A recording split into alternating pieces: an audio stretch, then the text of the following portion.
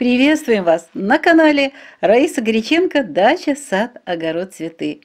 Сегодняшнее видео снова о хризантемах. Мы решили ответить на вопросы зрителей, зрителей об этих грациозных, божественно красивых цветах и еще раз показать то великолепие, которое сейчас у нас наблюдается у нашего дома и в нашем саду. Как только заходишь в наши владения, сразу попадаешь в мир волшебных, ярких красок цветущих хризантем мультифлоры, низкорослых и среднерослых, а также части высокорослых корейских хризантем. Но больше всего у нас мультифлоры. Я их обожаю за эти огромные шары с множеством разного размера и расцветок цветочков. Давайте сразу отвечу на вопрос по мультифлоре. Где лучше всего выращивать эти цветы? Пробовали мы выращивать мультифлору в кашпо, в горшках, в прицепе и в открытом грунте. Самые-самые большие шары вырастают в открытом грунте, хотя можно получить большой шар и в горшке, но для этого нужны специальные удобрения, короткий световой день, определенная температура. Этим и занимаются тепличники, это их бизнес. Мы же создаем райский, цветочный, такой красивый сад для себя – Специальная выгонка нас не интересует. Важно для нас в обычных условиях вырастить вот эти волшебные, грациозные цветы. Что мы успешно и делаем? Более подробно о всех технологических операциях по возделыванию хризантем можно узнать на нашем канале в плейлисте «Хризантемы». Ну а мы рассмотрим следующий вопрос – Поздние сорта, вот так он звучит, поздние сорта хризантем не успели в этом 2021 году даже расквы, раскрыть свои первые цветы. Как быть и что делать? Да, климат стремительно меняется, и мы направляемся все в мини-ледниковый период. От слова «ледниковый период» возникают не очень приятные ощущения – но мы входим в мини-ледниковый период, который только начинается, и его особенностью будет длительный холодный период осени, зимы и весны и короткое лето. Кстати, очень хорошо, что это мини-ледниковый период, а не ледниковый период. Где-то лето будет прохладным, где-то жарким. Главное, что лето будет коротким. Зная эти особенности перестройки климата на Земле, мы можем изменить свои подходы к выращиванию этих прекрасных цветов. Во-первых, выбираем для этого ранние, ну, в крайнем случае, средние сорта хризантем. В этом году нас порадовали ранние сорта мультифлоры нежно-розового и белого цвета. Название не знаю. Попыталась выяснить в интернете название сортов, но в разных каталогах, на разных площадках э, интернета одни и те же цветы имеют разные названия. А наши продавцы продают только вот беленькие покупайте, розовенькие, вот этот цветочек такой, это такой. Ну вот такая у нас ситуация с покупкой цветов. Главное, что есть где купить. И как вот определить, где ранний сорт, спрашиваете вы. Вот эти цветы ранних сортов зацветают в конце августа, в начале сентября и цветут в сентябре. Таких у нас вот эти два сорта – белый и нежно-розовый. Во второй половине сентября, в октябре зацветают уже средние сорта. Кстати, определить сроки цветения цветов можно и по рынку, по цветочным магазинам. Это для тех, кто пользуется именно этими местами приобретения цветов. Вот первыми поступают в продажу именно ранние сорта, вот затем средние, и сейчас уже в ноябре очень много различных цветов поздних сортов хризантем. Второй важный момент в получении цветения хризантем – это способ выращивания. Что сюда входит? Кстати, его мы вспомнили с Александром Федоровичем пару лет назад.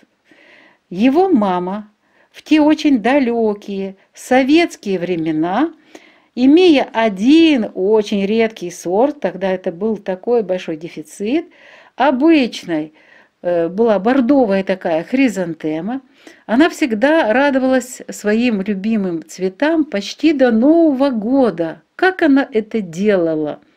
Мы жили на севере Одесской области, и там первые заморозки наблюдались уже в сентябре. Что она делала? Она аккуратно в конце августа выкапывала хризантему с большим комом земли, вот со всей корневой системы, и аккуратно высаживала ее в старое десятилитровое ведро. Поливала ее редко, ну, в ведре были обязательно э, дырочки, куда э, лишняя вода стекала. И как только приближались морозы, ведро с хризантемами перекочевывало на неотапливаемую веранду. Когда возвращались теплые периоды, ведро с цветком выносили на улицу. А однажды хризантема еще цвела в новогодние праздники. Это было настоящее волшебство. Что из этого опыта мы можем взять на заметку? Есть два варианта. Первый. Высаживать саженец хризантемы в большой горшок или ведро с садовой землей и закапывать эту емкость в землю. Здесь хризантема будет расти до холодных осенних дней. И как только будет приближаться холодный атмосферный фронт, емкость с цветком можно выкопать и перенести в теплицу, на веранду, в лоджию, в прохладное какое-то помещение.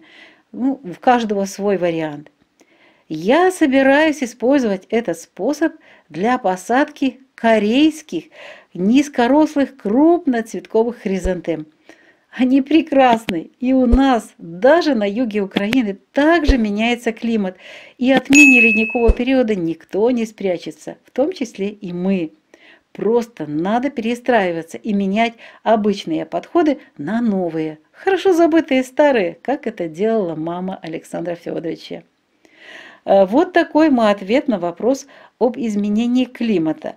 Это один из способов. Можно уже пересаживать, как делала мама Александра, уже в конце августа растение, переваливать его и заносить в дом. И, естественно, радоваться цветению. Это еще один вариант.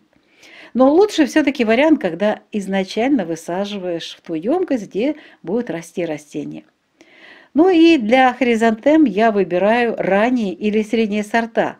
Корейские крупноцветковые высаживаем в горшки, чтобы в случае резкого похолодания быстро перенести растение в теплицу.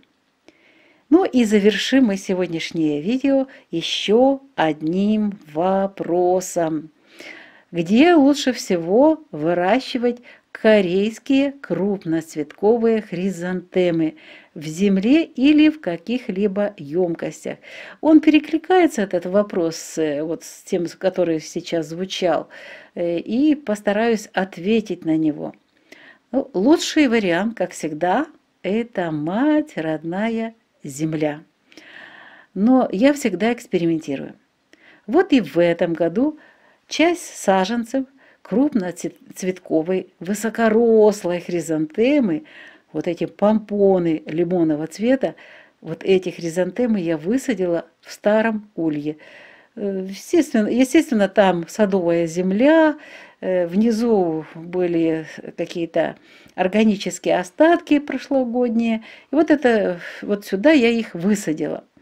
А кремовые корейские, крупноцветковые Э, вот тоже помпонные цветы и еще низкорослые крупноцветковые корейки. Я их высадила в старый прицеп, где у нас обычно растут э, ранее какие-то цветы летние. Ну и здесь мы выращивали, кстати, мультифлору один, э, в один из годов. Композиция получилась прекрасной.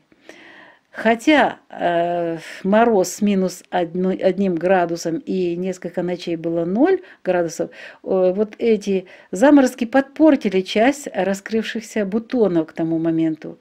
Но потом вернулось тепло, э, и растения показали себя во всей красоте. А еще я высадила рассаду кореек в бочку одного сорта. Вот смотрите, какая красота! Такие они красивые, сейчас только раскрываются. Идет холод, но все равно они себя показали. Сейчас, получается, в саду на хвост дворе у нас тускло, листья уже опали э, с наших растений, преобладают темные краски. А вот эти островки с облачками ярких красок хризантем расширя... расширяют и осветляют осеннее пространство засыпающих растений, других растений. Могут быть и другие варианты – Пробуйте и точно будете знать, где лучше выращивать великолепные, грациозные цветы с таким красивым названием – хризантемы. Сегодня был ответ на несколько вопросов, которые вы, уважаемые зрители, нам отправили после наших видео о хризантемах. Но ну, э, есть еще несколько вопросов, и мы обязательно ответим в ближайшие дни и на эти вопросы. А пока прощаемся с вами, уважаемые зрители, до следующего видео на нашем канале. Благодатной вам погоды, солнечного настроения в любую погоду, мира, тепла и уюта в ваших домах. Желают вам авторы канала Раиса Горяченко и Александр Волик. Пока-пока!